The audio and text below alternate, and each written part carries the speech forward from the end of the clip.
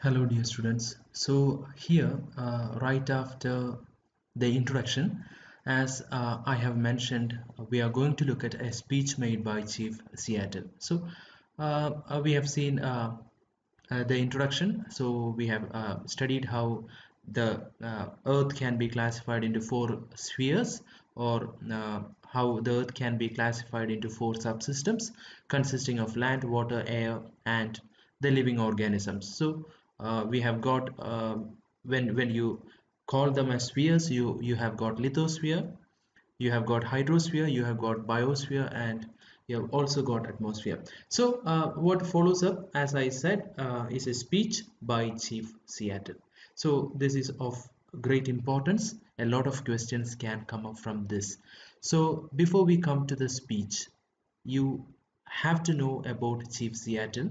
So, mm, at the end of the speech, uh, got and introduction on Chief Seattle so Chief Seattle ആരാണെന്ന് ഒക്കെ ഉള്ളത് ഒന്ന് നോക്കിയിട്ട് നമ്മൾക്ക് എന്ത് ചെയ്യാം? നമ്മൾക്ക് അദ്ദേഹത്തിന്റെ പ്രസംഗത്തിലേക്ക് പോകാം. നൗ ചീഫ് സിയാറ്റിൽ എന്ന് പറയുന്നത് അമേരിക്കയിൽ നിങ്ങൾ റെഡ് ഇന്ത്യൻസ് എന്നൊക്കെ കേട്ടിട്ടുണ്ടാകും. അമേരിക്കയിലെ ഗോത്രവർഗക്കാരാണ്. ശരിക്കും അമേരിക്കയിൽ ഒരുപാട് ഒരുപാട് ഗോത്രവർഗങ്ങളുണ്ട്. ഇപ്പോഴുള്ളതിനേക്കാളും ഒരുപാട് ഒരുപാട് ഗോത്രവർഗങ്ങൾ അവിടെ ഉണ്ടായിരുന്നു. അവിടെ ഉണ്ടായിരുന്ന ഗോത്രവർഗങ്ങളെയൊക്കെ തന്നെ അമേരിക്കയിലേക്ക് ആദ്യകാലത്ത് എത്തിയ വെളുത്ത വർഗക്കാരായിട്ടുള്ളവർ ഇല്ലാതാക്കുകയായിരുന്നു അതൊക്കെ വലിയ കഥകളാണ്. സോ എപ്പോഴെങ്കിലും നമ്മൾ ക്ലാസ്സിൽ നേരിട്ട് കാണുന്ന സമയത്ത് വലിയ കഥകളിലേക്ക് വരാം. സോ തൽക്കാലം ഇത്രയും മനസ്സിലാക്കുക.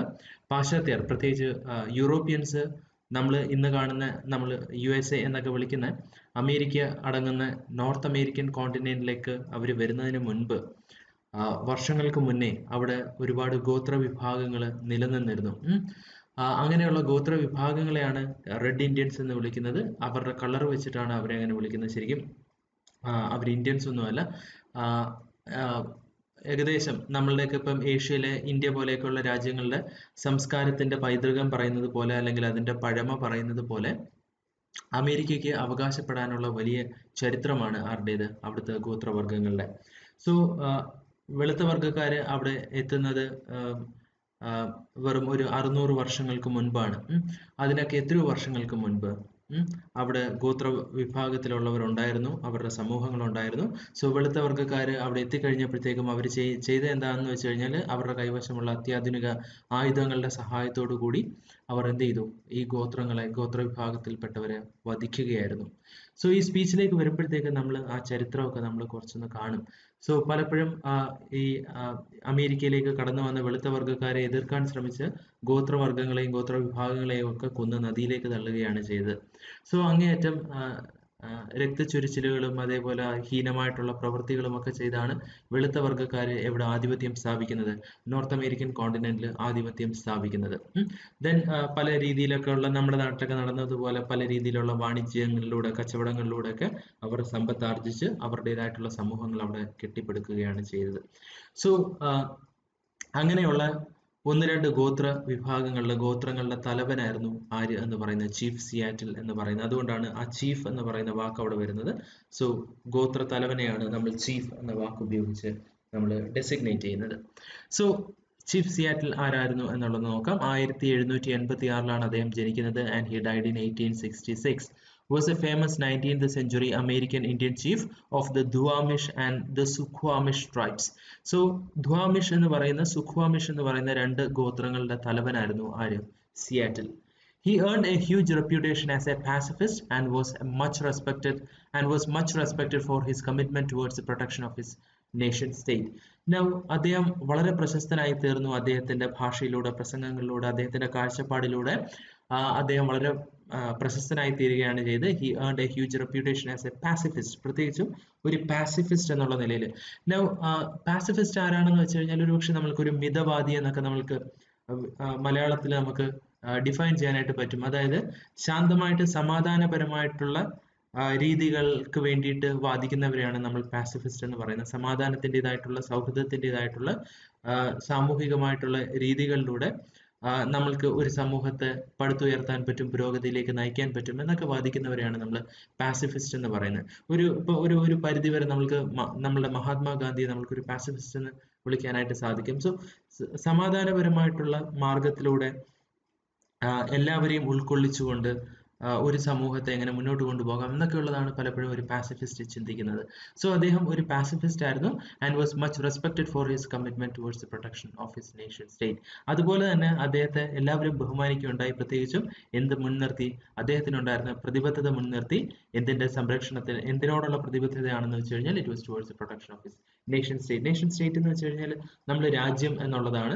സോ ഇവിടെ തന്റെ ഗോത്രങ്ങളാണെങ്കിലും ഗോത്ര വിഭാഗങ്ങളാണെങ്കിലും പ്രകൃതിയാണെങ്കിലും അമേരിക്ക എന്ന് പറയുന്ന രാജ്യമാണെങ്കിലും അതിന്റെയൊക്കെ എന്താ സമ്പൂർണമായിട്ടുള്ള വികാസത്തിനൊക്കെ വേണ്ടിയിട്ട് അദ്ദേഹം അങ്ങേയറ്റം പ്രതിജ്ഞാബദ്ധനായിട്ട് പ്രവർത്തിച്ച ഒരാളാണ്. സോ ഈ നിലയിലൊക്കെ ആ കാലഘട്ടത്തിൽ വളരെയധികം പ്രശസ്തനായിരുന്നു ആര്? Chief Seattle. Born as the son of the chief of the Suquamish tribe, Seattle grew up fighting against diverse foes, but at the later started against the white settlers.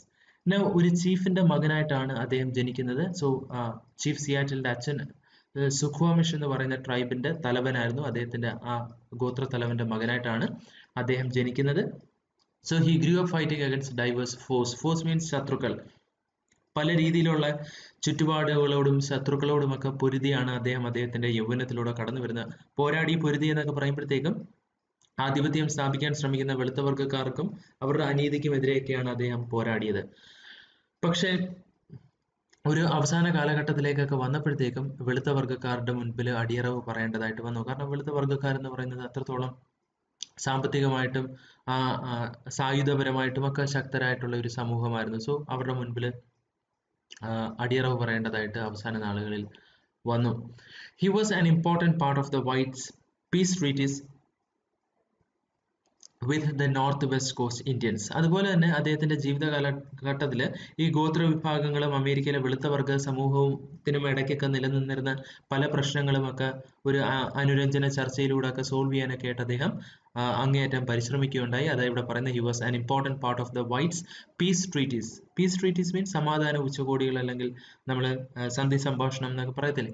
With the North West Coast Indian so North West കോസ്റ്റിലുള്ള ഗോത്ര വിഭാഗങ്ങളും ഒക്കെ ആയിട്ടുള്ള വെളുത്ത വർഗക്കാരുടെ സമാധാന ചർച്ചകൾക്കൊക്കെ അദ്ദേഹം ഇടനിലക്കാരനായിട്ട് നിൽക്കുകയുണ്ടായി. Okay Seattle was known for his eloquence and his words created and impact among the audience ഞാൻ നേരത്തെ സൂചിപ്പിച്ചതുപോലെ അദ്ദേഹം ഏറ്റവും കൂടുതൽ പ്രശസ്തനായി തീർന്നതിന്റെ ഒരു പ്രധാനപ്പെട്ട ഒരു റീസൺ എന്ന് പറയുന്നത് അദ്ദേഹത്തിന്റെ ഇലക്വൻസ് ആയിരുന്നു. ഇലക്വൻസ് മീൻസ് ഭാഷാ പ്രാവീണ്യം അല്ലെങ്കിൽ ഭാഷ ഉപയോഗിക്കാനായിട്ടുള്ള കഴിവ് ആണ് അദ്ദേഹത്തെ പ്രശസ്തനാക്കിയത്. ഒരു പ്രാസംഗികൻ എന്നുള്ള നിലയിലാണ് അദ്ദേഹം പ്രശസ്തനായത്. And his words created an impact among the audience so മനോഹരമായിട്ടുള്ള ഭാഷയിലൂടെ ഗൗരവമുള്ള ആഴമുള്ള കാര്യങ്ങൾ അവതരിപ്പിക്കാനുള്ള ഒരു കഴിവ് അദ്ദേഹത്തിന് ഉണ്ടായിരുന്നത് കൊണ്ട് തന്നെ ശ്രോതാക്കളുടെ ഇടയിൽ വലിയൊരു ചലനം സൃഷ്ടിക്കാൻ അദ്ദേഹത്തിന്റെ വാക്കുകൾക്ക് സാധിച്ചിട്ടുണ്ട്. Called സീത്തിൽ by his native Suquamish tribe the chief's eminence largely rests upon the speech made during the exhilarating days of the eighteen fifties now അദ്ദേഹത്തിന്റെ ഗോത്ര ഭാഷയിൽ അദ്ദേഹത്തിന്റെ പേര് സീത്തിൽ എന്നുള്ളതാണ്. അതാണ് ആംഗ്ലിസൈസ് ചെയ്ത് വന്നപ്പോഴത്തേക്കും ആംഗലേയവൽക്കരിച്ച് വന്നപ്പോഴത്തേക്കും സിയാറ്റിലായി മാറിയത്. Now called Seathl by his native Suquamish tribe the chief's eminence rests upon the speech made during the exhilarating days of the eighteen fifties അദ്ദേഹം ഏറ്റവും കൂടുതൽ ഉത്സാഹത്തോടു കൂടി പ്രവർത്തിച്ചിരുന്ന ഒരു കാലഘട്ടമാണ് ആയിരത്തി എണ്ണൂറ്റി അൻപതുകൾ എന്ന് പറയുന്നത്. സോ ഈ ആയിരത്തി എണ്ണൂറ്റി അൻപതുകളിൽ അദ്ദേഹം നടത്തിയ പ്രസംഗങ്ങളാണ് അദ്ദേഹത്തെ ഇത്രത്തോളം പ്രശസ്തനാക്കി തീർത്തത്. ഒരു മിനിറ്റ്. ഓക്കെ നൗ നമ്മൾക്ക് ഇവിടെ പഠിക്കാനുള്ളത് അദ്ദേഹം ആ രീതിയിൽ നടത്തിയ ഒരു പ്രസംഗമാണ്. It was made in eighteen fifty four ആയിരത്തി എണ്ണൂറ്റി അൻപത്തി നാലിലാണ് അദ്ദേഹം അദ്ദേഹത്തിന്റെ ഈ പ്രസംഗം അദ്ദേഹം നടത്തുന്നത്. The speech was made in January eighteen fifty four and his words underline the immensity of nature and his tribe's connection with the ancestral lands ഇവിടെ ഈ പ്രസംഗത്തിലൂടെ അദ്ദേഹം അടിവരയിട്ട് കാണിക്കുന്നത് എന്താണെന്ന് വെച്ച് കഴിഞ്ഞാൽ it is the immensity of nature പ്രകൃതി എന്ന് പറയുന്നത് എത്രത്തോളം സമ്പന്നമാണ് എന്നുള്ളതാണ് അദ്ദേഹം ഈ വാക്കുകളിലൂടെ സൂചിപ്പിക്കുന്നത് and also his tribe's connection with the ancestral lands തന്റെ പൂർവികരുടെ മണ്ണിനോട് അല്ലെങ്കിൽ തന്റെ പൂർവികർ ജീവിച്ചിരുന്ന അല്ലെങ്കിൽ താൻ പിറന്നു വീണ മണ്ണിനോട് തനിക്കുള്ള ബന്ധമൊക്കെയാണ് അല്ലെങ്കിൽ തന്റെ ഗോത്ര വിഭാഗങ്ങൾക്കുള്ള ബന്ധവുമൊക്കെ അദ്ദേഹം ഇതിലൂടെ ഈ പ്രസംഗത്തിലൂടെ അദ്ദേഹം വ്യക്തമാക്കാനായിട്ട് ശ്രമിക്കുന്നുണ്ട്. Seattle delivered the prophetic speech to mark the transfer of ancestral Indian lands to the federal government എന്താണ് ഈ ഒരു പ്രസംഗത്തിന്റെ പശ്ചാത്തലം എന്ന് വെച്ച് കഴിഞ്ഞാൽ ചീഫ് സിയാറ്റിലും അദ്ദേഹത്തിന്റെ ഗോത്രങ്ങളും അധിവസിച്ചിരുന്ന സ്ഥലം. പ്രത്യേകിച്ച് ഈ ഇങ്ങനെയൊക്കെയുള്ള ഗോത്രങ്ങൾ തീരപ്രദേശങ്ങളിലാണ് താമസിക്കുന്നത്. കടലിനോട് ചേർന്നുള്ള യു അമേരിക്കയുടെ കോസ്റ്റൽ ഏരിയാസിലാണ് ഇവർ ഏറ്റവും കൂടുതൽ സെറ്റിൽ ചെയ്തിരുന്നത് ജീവിച്ചിരുന്നത്. സോ അങ്ങനെ ഇവർ അധിവസിച്ചിരുന്ന മേഖല ആരാവശ്യപ്പെട്ടു. അന്ന് അമേരിക്കയിൽ ഉണ്ടായിരുന്ന ഗവൺമെന്റ് ആവശ്യപ്പെട്ടു. Okay so Seattle delivered the prophetic speech to mark the transfer of ancestral lands to the federal government so വികസനത്തിന് വേണ്ടിയിട്ട് അല്ലെങ്കിൽ കൺസ്ട്രക്ഷൻ പെർപ്പസിന് വേണ്ടിയിട്ട് ഇവർ താമസിച്ചിരുന്ന സ്ഥലം വിട്ടുകൊടുക്കണമെന്ന് ആരാവശ്യപ്പെട്ടു അമേരിക്കൻ ഗവൺമെന്റ് ആവശ്യപ്പെട്ടു. നൗ ആ ആവശ്യത്തിനുള്ള മറുപടിയായിട്ടാണ് അദ്ദേഹം എന്ത് ചെയ്യുന്നത്? ഈ പ്രസംഗം നടത്തുന്നത്. സോ കോണ്ടെക്സ്റ്റ് ഞാൻ ഇതൊന്ന് കംപ്ലീറ്റ് ചെയ്തിട്ട് ഞാൻ ഡീറ്റെയിൽ ആയിട്ട് പറഞ്ഞുതരാം. Different versions of the speech exist and for scholars it has always been a point of historical debates. Now ഈ ഒരു പ്രസംഗത്തിന്റെ പല വേർഷൻസ് നിലനിൽക്കുന്നുണ്ട്. കാരണം തീർച്ചയായിട്ടും അദ്ദേഹം അദ്ദേഹത്തിന്റെതായിട്ടുള്ള പ്രാദേശിക ഭാഷയിലാണ് അദ്ദേഹം എന്ത് ചെയ്തത്? ഈ പ്രസംഗം നടത്തിയത്. അത് പിന്നീട് ഇംഗ്ലീഷിലേക്ക് പല സ്കോളേഴ്സും എന്ത് ചെയ്യുകയായിരുന്നു? ട്രാൻസ്ലേറ്റ് ചെയ്യുകയായിരുന്നു. സോ അതിന്റെ ഫലമായിട്ട് ഈ പ്രസംഗത്തിന്റെ പല വേർഷൻസ് ഉണ്ട്. And for scholars it has always been a point of historical debates അതുകൊണ്ട് തന്നെ ഈ പ്രസംഗത്തെ ചൊല്ലി പണ്ഡിതന്മാരായിട്ടുള്ള അല്ലെങ്കിൽ ഗവേഷകരുടെ ഇടയിൽ പല ഡിബേറ്റുകളും സംവാദങ്ങളും നിലനിൽക്കുന്നുമുണ്ട്. The speech has been interpreted in myriad ways and it still stands as a classic example for highlighting ecological responsibility now ഈ ഒരു പ്രസംഗത്തിന് has been interpreted in myriad ways myriad means many പല പല രീതിയിൽ മീൻസ് ഹൺഡ്രഡ്സ് ഓഫ് രീതിയിൽ നൂറുകണക്കിന് വ്യാഖ്യാനങ്ങൾ നമ്മൾക്ക് ഇതിലേക്ക് കൊണ്ടുവരാനായിട്ട് സാധിക്കും. എന്നിരുന്നാൽ പോലും ഇങ്ങനെ പല വ്യാ എന്താ വ്യാഖ്യാനങ്ങൾ നിലനിൽക്കുന്നുണ്ടെങ്കിൽ പോലും ഇതിനെ ചൊല്ലി പല സംവാദങ്ങളും നിലനിൽക്കുന്നുണ്ടെങ്കിൽ പോലും നമ്മൾ മൊത്തത്തിൽ ഈ പ്രസംഗം ഒന്ന് പരിശോധിക്കുമ്പോഴത്തേക്കും നമ്മൾക്ക് ഇത് അങ്ങേയറ്റം ഉദാത്തമായിട്ടുള്ള ഒരു ഉദാഹരണമായിട്ട് നമുക്ക് തോന്നും. എന്തിനാണെന്ന് അറിയാമോ ഫോർ ഹൈലൈറ്റിംഗ് ഇക്കോളജിക്കൽ റെസ്പോൺസിബിലിറ്റി നമ്മൾ എന്തുകൊണ്ട് പ്രകൃതിയോട് പ്രതിജ്ഞാബദ്ധരായിരിക്കണം എന്നുള്ളതിന് ഒരു ഉത്തമ ഉദാഹരണമാണ് അദ്ദേഹം നടത്തുന്ന ഈ പ്രസംഗം. ഇവിടെ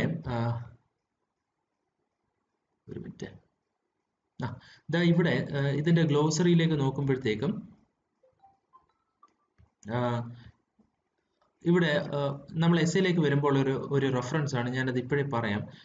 ഇതിനകത്ത് ഈ പ്രസംഗത്തിൽ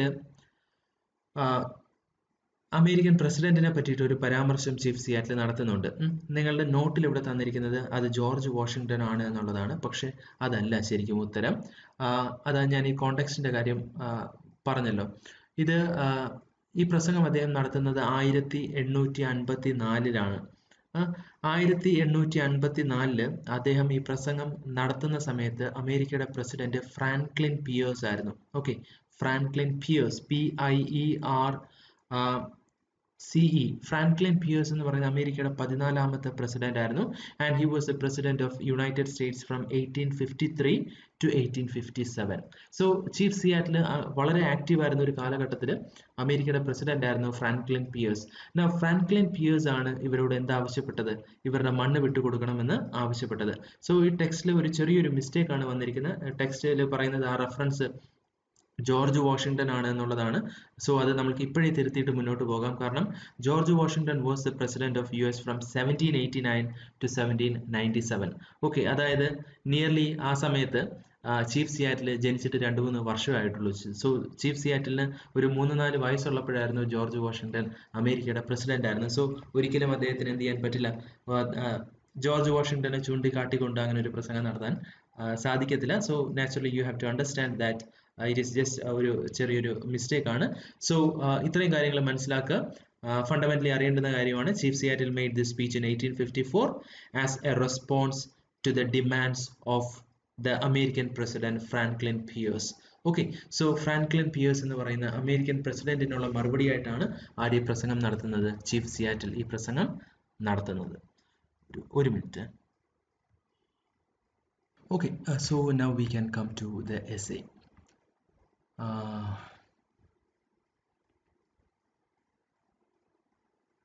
okay. So this is Chief Seattle's speech. Can you buy buy sell the sky the the of the land land? നിങ്ങൾക്ക് എങ്ങനെ ആകാശത്ത് വാങ്ങുവാനോ വിൽക്കുവാനോ സാധിക്കും the warmth of the land മണ്ണിന്റെ ഊഷ് ഊഷ്മളത നിങ്ങൾക്ക് എങ്ങനെ കാശ് കൊടുത്ത് വാങ്ങിക്കുവാനോ അല്ലെങ്കിൽ വിൽക്കുവാനോ സാധിക്കും the idea is strange to us ഈ ഒരു ആശയം എന്നെ സംബന്ധിച്ചിടത്തോളവും എന്റെ ഗോത്രത്തെ സംബന്ധിച്ചിടത്തോളവും തീർത്തും വിചിത്രമാണ് If you do not own the freshness of the air and the sparkle of the water, how can you buy them? ആകാശത്തിന്റെ ആ ഒരു പരിശുദ്ധിയും അല്ലെങ്കിൽ അതിന്റെ ഒരു നൈർമല്യവും അതുപോലെ തന്നെ നദികളിലൂടെ ഒഴുകുന്ന ജലത്തിന്റെ തിളക്കവും നമ്മളുടെ കൈമുതൽ അല്ല എന്നുണ്ടെങ്കിൽ if we do not own them how can we buy them or how can we sell them നമ്മളുടെ ഉടമസ്ഥതയിലുള്ള സാധനങ്ങളല്ലേ നമ്മൾക്ക് വിൽക്കാനായിട്ട് സാധിക്കത്തുള്ളൂ. സപ്പോസ് ഇപ്പം എന്റെ കൈവശം ഒരു കാറുണ്ട് അതെന്റെ ഉടമസ്ഥതയിലുള്ളതാണ്. എനിക്കത് എന്ത് ചെയ്യാൻ സാധിക്കും? വിൽക്കാനായിട്ട് സാധിക്കും. അല്ലെങ്കിൽ എന്റെ കൈവശം പണമുണ്ട്. വേറൊരാളുടെ കൈവശമുള്ള കൈമുതലായിട്ടുള്ള ഒരു കാർ എനിക്ക് കാശ് കൊടുത്ത് വാങ്ങിക്കാനായിട്ട് പറ്റും. പക്ഷേ ഇത് നമ്മളുടെ കൈമുതൽ അല്ല എന്നുണ്ടെങ്കിൽ ഓക്കെ അന്തരീക്ഷം അല്ലെങ്കിൽ ജലം അല്ലെങ്കിൽ മണ്ണ് നമ്മളുടെ ഉടമസ്ഥതയിൽ ഉള്ളതല്ല എന്നുണ്ടെങ്കിൽ നമ്മൾക്ക് എങ്ങനെ അവ കാശ് കൊടുത്ത് വായിക്കാനായിട്ട് അല്ലെങ്കിൽ വിൽക്കുവാനായിട്ട് സാധിക്കും? The idea is strange to us ഈ ഒരു ആശയം എന്നെ സംബന്ധിച്ചിടത്തോളവും എന്റെ ഗോത്രത്തെ സംബന്ധിച്ചിടത്തോളവും വിചിത്രമാണ്.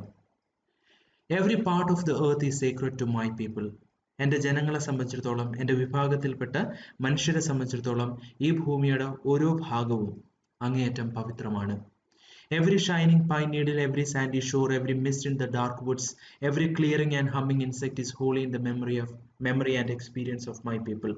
Uh, ഉദിച്ചു വരുന്ന സൂര്യന്റെ പ്രകാശമേറ്റ് വെട്ടിത്തിളങ്ങുന്ന പൈൻ നീഡിൽ എന്ന് പറയുന്ന പൈൻ മരത്തിന്റെ ആ നേർത്ത ഇലകളെയാണ് പറയുന്നത് പൈൻ നീഡിൽ സോ പൈൻ മരത്തിന്റെ നേർത്ത ഇലകളാണെങ്കിലും every sandy shore തീരപ്രദേശങ്ങളാണെങ്കിലും every mist in the dark woods നിബിഡമായിട്ടുള്ള മരങ്ങളെ ചുറ്റിപ്പറ്റി കിടക്കുന്ന മഞ്ഞാണെങ്കിലും every clearing and humming insect ഓരോ വെളിപ്രദേശങ്ങളാണെങ്കിലും മൂളിപ്പാട്ട് പാടുന്ന ഓരോ ഇൻസെക്റ്റുകളാണെങ്കിലും is holy in the memory and experience of my people എന്റെ ജനങ്ങളുടെ ഓർമ്മയിലാണെങ്കിലും അവരുടെ അനുഭവത്തിലാണെങ്കിലും ഇവയെല്ലാം തന്നെ എന്താണ്? അങ്ങേയറ്റം പവിത്രമാണ്.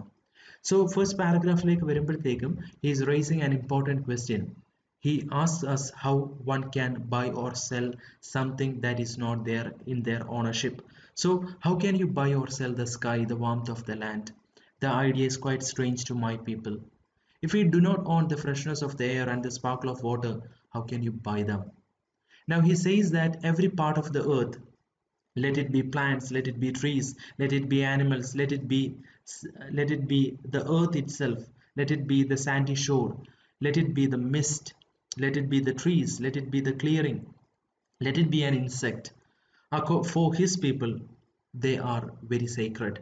That is why he says every shining pine needle, every sandy shore, every mist in the dark woods, every clearing and humming insect is holy in the memory and experience of my people. The sap which courses through the trees carries the memory and experience of my people. Now chief Seattle പറയുന്നു the sap which courses through the trees മരങ്ങളിലൂടെ പ്രവഹിക്കുന്ന അതിന്റെ sap means അതിന്റെ സത്ത. It carries the memory and experience of my people അത് വഹിച്ചു കൊണ്ടുപോകുന്നത് അതായത് ഓരോ മരങ്ങളുടെയും അന്തസത്ത വഹിച്ചു കൊണ്ടുപോകുന്നത് എന്റെ ജനങ്ങളുടെ അല്ലെങ്കിൽ എന്റെ വിഭാഗത്തിൽപ്പെട്ട മനുഷ്യരെ കുറിച്ചുള്ള ഓർമ്മയും അവർ അവരുടെ അനുഭവങ്ങളും ഒക്കെയാണ്. The sap which courses through the trees carries the memory and experience of my people അതായത് ഓരോ മരത്തിന്റെയും അന്തസത്ത വഹിച്ചു കൊണ്ടുപോകുന്നത് എന്റെ വിഭാഗത്തിൽപ്പെട്ട ജനങ്ങളെക്കുറിച്ചുള്ള ഓർമ്മകളും അവരുടെ അനുഭവങ്ങളുമാണ്. എന്ന് പറയുമ്പോഴത്തേക്കും എന്തായിരിക്കും ശരിക്കും ചീഫ് സിയാറ്റിൽ ഉദ്ദേശിക്കുന്നത്? സാധാരണ നമ്മൾ ലൈവായിട്ട് നമ്മൾ ക്ലാസ് എടുക്കുന്ന സമയത്ത് ഇതെല്ലാം ക്വസ്റ്റ്യൻസ് ആണ്. എന്തുകൊണ്ടായിരിക്കും അദ്ദേഹം പറയുന്നത്? തന്റെ നാട്ടിൽ തന്റെ മണ്ണിൽ ചുറ്റുപാടും നിൽക്കുന്ന മരങ്ങൾ പേറിക്കൊണ്ടു പോകുന്ന അവയുടെ സത്തയിൽ ഒളിഞ്ഞിരിക്കുന്നത് അല്ലെങ്കിൽ അവ വഹിക്കുന്നത് തന്റെ ജനങ്ങളെക്കുറിച്ചുള്ള ഓർമ്മകളാണ് എന്ന് പറയാനുള്ള കാരണം എന്തായിരിക്കും? ഒരുപക്ഷെ അദ്ദേഹം ഇങ്ങനെ പറയാനുള്ള കാരണം താനും തന്റെ വിഭാഗത്തിൽപ്പെട്ടവരും തന്റെ പൂർവികരും പ്രകൃതിയുമായിട്ട് അങ്ങേയറ്റം ഇണങ്ങി ജീവിച്ചവരാണ്. ഓക്കെ രണ്ട് തന്റെ പൂർവികർ എത്രയോ തലമുറ മുൻപുള്ളവർ നട്ടു വളർത്തിയതാകാം ഈ മരങ്ങൾ. അവർ പരിപാലിച്ചതാകാം. സോ അവരാരും തന്നെ എന്ത് ചെയ്തിട്ടില്ല? ഒരു മരങ്ങളെയും വെട്ടിമുറിച്ച് നശിപ്പിച്ചിട്ടില്ല. സോ അതുകൊണ്ട് തന്നെ തീർച്ചയായിട്ടും ഈ മരങ്ങൾ എന്തോർക്കുന്നുണ്ടാകും തന്റെ പൂർവികർ അവ അവയോട് കാണിച്ച സ്നേഹം ഓർക്കുന്നുണ്ടാകും. രണ്ടാമത്തെ റീസൺ എന്താന്ന് വെച്ച് കഴിഞ്ഞാൽ മരങ്ങൾ നമ്മൾക്കറിയാം ഒരുപാട് വർഷത്തെ പഴക്കം ഉണ്ടാകും അല്ലേ? സോ തന്റെ പൂർവികരുടെ പൂർവികരുടെ പൂർവികരൊക്കെ ഉണ്ടായിരുന്ന സമയത്താകാം ഈ മരങ്ങൾ. എന്താ താനെ വീണ് മുളച്ചതാകാം. അവ മുളച്ച് പൊട്ടി പൊട്ടിമുളച്ച് ചെറിയ ചെടിയായി പിന്നീട് മരമായി വളർന്നു വന്നത് സോ വർഷങ്ങളോളം നൂറ്റാണ്ടുകളോളം പഴക്കമുള്ള മരങ്ങളാണ്. സോ തീർച്ചയായിട്ടും അവയ്ക്ക് എന്തിന്റെ കഥ പറയാനുണ്ടാകും? ഒരുപാട് ഒരുപാട് തലമുറകളുടെ കഥ പറയാൻ ഉണ്ടാകും. സോ അതുകൊണ്ട് അവയുടെ പഴക്കവുമാകാം അദ്ദേഹം സൂചിപ്പിക്കുന്നത് so that is why he says the sap which courses through the trees carries the memory and experience of my people the sap which courses through the trees carries the memory of the red man ഈ ചുറ്റുപാടും നിൽക്കുന്ന മരങ്ങളിലൂടെ ഒഴുകുന്ന അവയുടെ അന്തസത്ത പേറിക്കൊണ്ടുപോകുന്നത് അല്ലെങ്കിൽ അവ ഉൾക്കൊള്ളുന്നത് ആരെക്കുറിച്ചുള്ള ഓർമ്മകളാണ്? എന്റെ വിഭാഗത്തിൽപ്പെട്ട മനുഷ്യരെ കുറിച്ചുള്ള ഓർമ്മകളാണ്. The white man's dead forget the country of the birth when they go to walk among the stars the white man's dead white man means വെളുത്ത വർഗക്കാര്. വൈറ്റ് മാൻസ് ഡെഡ് മീൻസ് വെളുത്ത വർഗക്കാരായിട്ട് ഭൂമിയിൽ മരിക്കുന്നവർ. They forget the country of the birth when they go to walk among the stars മരിച്ച് അവരുടെ ആത്മാവ് നക്ഷത്രങ്ങൾക്കിടയിൽ സഞ്ചരിക്കാൻ പോകുന്ന സമയത്ത് അവരുടെ ആത്മാവ് എന്ത് മറന്നു പോകും? താൻ പിറന്നു വീണ മണ്ണിനെ കുറിച്ചുള്ള ഓർമ്മകൾ മറന്നു പോകും. The white man's dead forget the country of the birth when they walk to when they go to walk among the stars. Our dead never forget this beautiful earth എന്നാൽ എന്റെ വിഭാഗത്തിൽപ്പെട്ട മനുഷ്യർ അവർ മരിച്ചാൽ പോലും അവർക്കൊരിക്കലും എന്തിനെ മറക്കാൻ പറ്റില്ല. ഈ മനോഹരമായിട്ടുള്ള ഭൂമിയെ മറക്കാനായിട്ട് പറ്റില്ല. For it is the mother of the red man കാരണം എന്റെ വിഭാഗത്തിൽപ്പെട്ട മനുഷ്യരെ സംബന്ധിച്ചിടത്തോളം ഈ ഭൂമി എന്ന് പറയുന്നത് അവരുടെ അമ്മയാണ്. ഇവിടെ എന്താണ് ശരിക്കും ചീഫ് സിയാറ്റിൽ പറയുന്നതെന്ന് വെച്ച് കഴിഞ്ഞാൽ ഒരു വെളുത്ത വർഗക്കാരൻ മരിച്ചു കഴിഞ്ഞാൽ അവൻ പിറന്ന മണ്ണിനെ പോലും മറന്നു പോകും. കാരണം പ്രകൃതിയുമായിട്ട് അവൻ പിറന്നു വീഴു വീഴുന്ന നാടുമായിട്ട് അവന് നൈമിഷികമായിട്ടുള്ള നിമിഷ നേരത്തെ ബന്ധം മാത്രമേ ഉള്ളൂ. കാരണം അവൻ സ്വാർത്ഥനാണ്. അവൻ ഭൗതിക സുഖങ്ങളുടെ പിന്നാലെ മാത്രം പോകുന്നവനാണ്. സോ അതുകൊണ്ട് തന്നെ അവന് എന്ത് ബാധകമല്ല. പ്രകൃതിയോ പ്രകൃതിയിൽ അവനെ ഏൽപ്പിക്കുന്ന കോട്ടങ്ങളോ പ്രഹരങ്ങളോ ഒന്നും അവനെ സംബന്ധിച്ചിടത്തോളം വൈകാരികമായിട്ട് സ്പർശിക്കുന്ന കാര്യങ്ങൾ അല്ല. മറ്റു രീതിയിൽ പറഞ്ഞാൽ പ്രകൃതിയുമായിട്ട് വൈകാരികമായിട്ടുള്ള യാതൊരു ബന്ധവും അവനില്ല. സോ അതുകൊണ്ട് തന്നെ അവൻ മരിച്ചു കഴിഞ്ഞാൽ അവൻ എന്താണ്? അവൻ പിറന്ന വീണ മണ്ണും മറ്റൊരു മണ്ണും അവന് ഒരുപോലെ തന്നെയാണ്. അവൻ നിസ്സാരമായിട്ട് പൊടിയും തട്ടിയാകാം എന്ത് ചെയ്യുന്നത്? മരിച്ച് പരലോകത്തേക്ക് പോകുന്നത്. പക്ഷേ തന്റെ വിഭാഗത്തിൽപ്പെട്ടവരെ സംബന്ധിച്ചിടത്തോളം ചീഫ് സിയാറ്റിൽ പറയുന്നു our dead never forget this beautiful earth for it is a mother of the red man പക്ഷേ എന്റെ വിഭാഗത്തിൽപ്പെട്ടവർ മരിച്ചു കഴിഞ്ഞാൽ പോലും അവർക്ക് ഈ ഭൂമിയെ മറക്കാൻ സാധിക്കില്ല. കാരണം എന്റെ വിഭാഗത്തിൽപ്പെട്ടവർക്ക് ഭൂമി എന്ന് പറയുന്നത് അവന്റെ അമ്മയാണ്. We are part of the earth and it is part of us ഞങ്ങൾ എന്താണ് ഞങ്ങൾ ഭൂമിയുടെ ഭാഗമാണ്. ഭൂമി ഞങ്ങളുടെയും ഭാഗമാണ്. സോ അഭേദ്യമായിട്ടുള്ള എടുത്തു മാറ്റാൻ പറ്റാത്ത അല്ലെങ്കിൽ അറുത്തു മുറിക്കാൻ പറ്റാത്ത ഒരു ബന്ധം ഞങ്ങൾ കാര്യമായിട്ടുണ്ട് ഭൂമിയുമായിട്ട് ഉണ്ട്. ഞങ്ങൾ എങ്ങനെയാണോ ഭൂമിയുടെ ഭാഗമായിട്ടുള്ളത് അതേ രീതിയിൽ ഭൂമി ഞങ്ങളുടെയും ഭാഗമാണ്. The perfumed flowers are our sisters the deer the horse the great eagle these are our brothers ഈ പ്രകൃതിയിലുള്ള ഓരോ സസ്യങ്ങളും ഓരോ ജീവജാലങ്ങളും ആ അമ്മയോടൊപ്പം ആ അമ്മയുടെ വയറ്റിൽ നിന്ന് ഞങ്ങൾ പിറന്നതുപോലെ ഈ ഭൂമിയിൽ പിറന്നവരായതുകൊണ്ട് തന്നെ അവ ഞങ്ങളെ സംബന്ധിച്ചിടത്തോളം എന്താണ്? സഹോദരി സഹോദരന്മാരെ പോലെയാണ്. ഞങ്ങളെ പ്രസവിച്ച അതേ ഭൂമി തന്നെയാണ് ഈ ഭൂമിയിലെ മറ്റ് ജീവജാലങ്ങൾക്കും ജന്മം നൽകിയിരിക്കുന്നത്. അതുകൊണ്ട് തന്നെ ഈ ഭൂമിയിലെ മറ്റ് എല്ലാ ജീവജാലങ്ങളും ഞങ്ങളെ സംബന്ധിച്ചിടത്തോളം ആരെ പോലെയാണ്? ഞങ്ങളുടെ സഹോദരി സഹോദരന്മാരെ പോലെയാണ്. That is why chief Seattle says the perfumed flowers are our sisters the deer the horse the great eagle these are our brothers സുഗന്ധമേറുന്ന പുഷ്പങ്ങളാണെങ്കിലും മാൻപേടകളാണെങ്കിലും കുതിരകളാണെങ്കിലും ആകാശത്ത് വട്ടം ചുറ്റി പറക്കുന്ന പരുന്താണെങ്കിലും ഞങ്ങളുടെ സഹോദരി സഹോദരന്മാരാണ്. The rocky crests the juices in the meadows the body heat of the pony and the man all belong to the same family the rocky crests പാറക്കെട്ടുകളാണെങ്കിലും നിർജീവമായിട്ടുള്ള പാറക്കെട്ടുകളാണെങ്കിലും the juices in the meadows meadows അറിയാലോ പുൽമേടുകളെയാണ് നമ്മൾ meadows എന്ന് പറയുന്നത്. So പുൽമേടുകളിൽ നിലകൊള്ളുന്ന പുല്ലുകളുടെ സത്തയാണെങ്കിലും the body heat of the pony pony means ചെറു കുതിരകളാണ്. അവയുടെ ശരീരത്ത് നിന്ന് വമിക്കുന്ന താപമാണെങ്കിലും ആൻഡ് ദ മാൻ നമ്മൾ മനുഷ്യരാണെങ്കിലും we all belong to the same family നമ്മളെല്ലാവരും ഒരേ കുടുംബത്തിന്റെ ഭാഗമാണ് so when the great chief in Washington sends word that he wishes to buy our land he as much of us. അതുകൊണ്ട് തന്നെ വാഷിങ്ടണിൽ ഇരിക്കുന്ന ആ വലിയ ചീഫ് നമ്മൾക്ക് സന്ദേശം അയക്കുമ്പോഴത്തേക്കും സോ ഇതാണ് നമ്മൾ ഈ എസ് എ തുടങ്ങുന്ന സമയത്ത് നമ്മൾ പറഞ്ഞായിരുന്നു ആ reference the great chief in Washington so ഗ്ലോസറിയിൽ കൊടുത്തിരിക്കുന്നത് ഇവിടെ ചീഫ് സിയാറ്റിൽ ഗ്രേറ്റ് ചീഫ് എന്ന് വിശേഷിപ്പിക്കുന്നത് ജോർജ് വാഷിങ്ടനെ ആണ് എന്നാണ് അവിടെ പറഞ്ഞിരിക്കുന്നത്. അതൊരു മിസ്റ്റേക്ക് ആണ് സൂചിപ്പിക്കുന്നത് ആരെയാണ്? ആ കാലഘട്ടത്തിൽ അമേരിക്കൻ പ്രസിഡന്റ് ആയിരുന്ന ഫ്രാങ്ക്ലിൻ പിയേഴ്സിനെയാണ്. സോ ചീഫ് സിയാറ്റിൽ സ്വയം ആരാണ്? ഒരു ഗോത്ര തലവനാണ് ഇവിടെ വാഷിങ്ടണിൽ ഇരിക്കുന്ന ആ ഗ്രേറ്റ് ചീഫ് എന്ന് പറയുമ്പോഴത്തേക്കും is actually referring to the president of America. So when the great chief in Washington sends word അദ്ദേഹം നമ്മൾക്ക് സന്ദേശം അയക്കുമ്പോൾ അല്ലെങ്കിൽ ഒരു ദൂതനെ നമ്മളുടെ അടുത്തേക്ക് അയക്കുമ്പോൾ എന്താവശ്യപ്പെട്ടുകൊണ്ട് wishing to buy our land നമ്മളുടെ ഭൂമി ആവശ്യപ്പെട്ടുകൊണ്ട് നമ്മൾക്കൊരു സന്ദേശം അയക്കുമ്പോൾ ഹി ആസ് മച്ച് ഓഫ് us. നമ്മളിൽ നിന്ന് ആ ഭൂമിക്ക് അപ്പുറത്തേക്ക് മറ്റു പലതുമാണ് അയാൾ ആവശ്യപ്പെടുന്നത്. സോ തങ്ങളുടെ ഭൂമി വിട്ടുകൊടുക്കണം എന്ന് പറഞ്ഞ് അമേരിക്കൻ പ്രസിഡന്റ് ഒരു സന്ദേശം അയക്കുമ്പോഴത്തേക്കും ചീഫ് സിയാറ്റലിനെ സംബന്ധിച്ചിടത്തോളം അവരുടെ ഗോത്രത്തെ സംബന്ധിച്ചിടത്തോളം നിസ്സാരമായിട്ട് കൈമാറാൻ പറ്റുന്ന ഒന്നല്ല എന്ത് എന്ന് പറയുന്നത്? അധിവസിക്കുന്ന മണ്ണ് എന്ന് പറയുന്നത്. കാരണം അധിവസിക്കുന്ന മണ്ണിനപ്പുറത്തേക്ക് ആ പ്രദേശവുമായിട്ട് ബന്ധപ്പെട്ട് എന്ത് കിടപ്പുണ്ട്? ഒരുപാട് ഒരുപാട് ബന്ധങ്ങൾ കിടപ്പുണ്ട്. നേരത്തെ പറഞ്ഞല്ലോ. സോ സസ്യങ്ങളാണെങ്കിലും മൃഗങ്ങളാണെങ്കിലും എല്ലാം അവർക്ക് ആരാണ് സഹോദരി സഹോദരന്മാരാണ്. സോ സ്വന്തം മണ്ണ് വിട്ടു പോവുക എന്ന് വെച്ച് കഴിഞ്ഞാൽ എന്താണ്? ഈ ബന്ധങ്ങളെല്ലാം പിന്നിൽ ഉപേക്ഷിച്ച് പോവുക എന്നുള്ളതാണ്. സോ അമേരിക്കയിലിരിക്കുന്ന ചീഫ് ഗ്രേറ്റ് ചീഫ് ആയിട്ടുള്ള അമേരിക്കൻ പ്രസിഡന്റ് നമ്മളോട് ഈ ഭൂമി വിട്ടുകൊടുക്കണം എന്ന് ആവശ്യപ്പെട്ട് കഴിഞ്ഞാൽ അതിനും അപ്പുറത്തേക്ക് ഒരുപാട് ഒരുപാട് കാര്യങ്ങൾ നമ്മൾ എന്ത് ചെയ്യേണ്ടതായിട്ട് വരും? വിട്ടുകൊടുക്കേണ്ടതായിട്ട് വരും. അതുകൊണ്ടാണ് ചീഫ് സിയാറ്റിൽ എന്ത് പറയുന്നത്? So when the great chief in Washington sends word that he wishes to buy our land he as much of us. The great white chief sends word that he will reserve us a place so that we can live comfortably to ourselves. അദ്ദേഹം നമ്മൾക്ക് അയച്ച സന്ദേശത്തിൽ ഇതും സൂചിപ്പിക്കുന്നുണ്ട്. The great white chief വെളുത്ത വർഗക്കാരനായിട്ടുള്ള ആ ഈ രാജ്യത്തിന്റെ മേധാവിയായിട്ടുള്ള അദ്ദേഹം ഇതും സൂചിപ്പിക്കുന്നു എന്ത്? That he'll that he will reserve us a place so that we can live comfortably to our selves നമ്മൾക്ക് സുഖമായി ജീവിക്കാൻ വേണ്ടിയിട്ട് അദ്ദേഹം നമ്മൾക്ക് വേണ്ടിയിട്ട് മറ്റൊരിടം കണ്ടെത്തിയിട്ടുള്ളതായിട്ട് അദ്ദേഹം പറയുന്നു. സോ ഇവരെ പുനരധിവസിപ്പിക്കാനായിട്ട് മറ്റൊരിടം താൻ കണ്ടെത്തി വെച്ചിട്ടുണ്ട് എന്നും ആര് സൂചിപ്പിക്കുന്നു? അമേരിക്കൻ പ്രസിഡന്റ് തന്റെ കത്തിൽ സൂചിപ്പിക്കുന്നു. He will be our father and we will be his children ആ കത്തിന്റെ ഭാഷ പരിശോധിക്കുമ്പോൾ നമ്മൾക്ക് മനസ്സിലാകും. എങ്ങനെയാണോ ശാസനയുടെ ഭാഷയിൽ ഒരു അച്ഛൻ മക്കളോട് സംസാരിക്കുന്നത് അതേ ഭാഷയിലാണ് അദ്ദേഹം ആ കത്തിലൂടെ നമ്മളോട് സംവദിക്കുന്നത്. അദ്ദേഹം ആരെ പോലെയാണ് ഗർവിഷ്ഠനായിട്ടുള്ള അധികാരമുള്ള ശാസിക്കുന്ന ഒരു അച്ഛനെ പോലെയാണ് നമ്മൾ എങ്ങനെ പെരുമാറണം? അനുസരണയുള്ള മക്കളെ പോലെ പെരുമാറണം. അതാണ് അദ്ദേഹം നമ്മളിൽ നിന്ന് പ്രതീക്ഷിക്കുന്നത്. So we will consider your offer to buy our land so ഈ രീതിയിൽ ഒരു അച്ഛനെ പോലെ ഒരു ഗർവോട് കൂടി അല്ലെങ്കിൽ ശാസനയുടെ ഭാഷയിൽ സംസാരിക്കുന്നത് കൊണ്ട് തന്നെ തീർച്ചയായിട്ടും താങ്കളുടെ ആവശ്യം ഞങ്ങൾ പരിഗണിക്കുന്നതാണ്.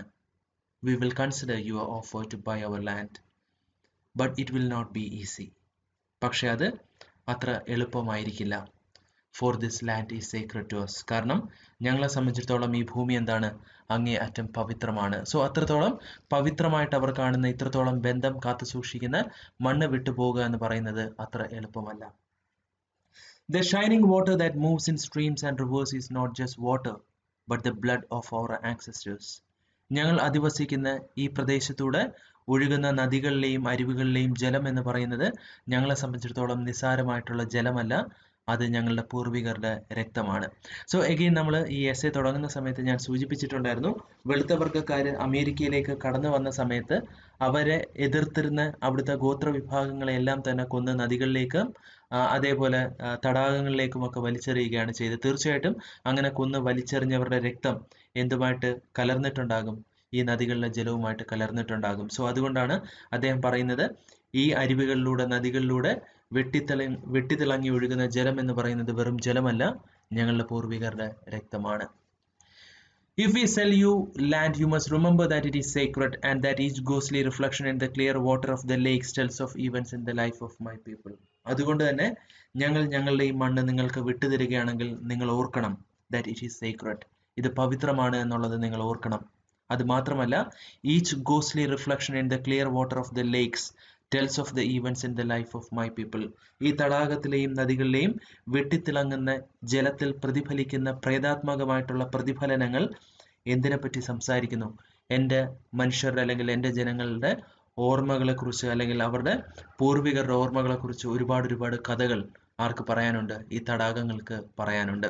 സോ സൂചിപ്പിക്കുന്ന എന്താ? നമ്മൾ ഈ പറഞ്ഞ കാര്യമാണ്. അതായത് തീർച്ചയായിട്ടും നദിയിലെ ജലത്തിൽ എന്ത് പ്രതിഫലിക്കും ചുറ്റുപാടുമുള്ള മരങ്ങളും ഒക്കെ ആ സൂര്യപ്രകാശം അങ്ങനെ ഏൽക്കുമ്പോഴത്തേക്കും ചുറ്റുവട്ടത്തുള്ളത് മുഴുവനും എവിടെ പ്രതിഫലിക്കും? ആ വെള്ളത്തിൽ പ്രതിഫലിക്കും.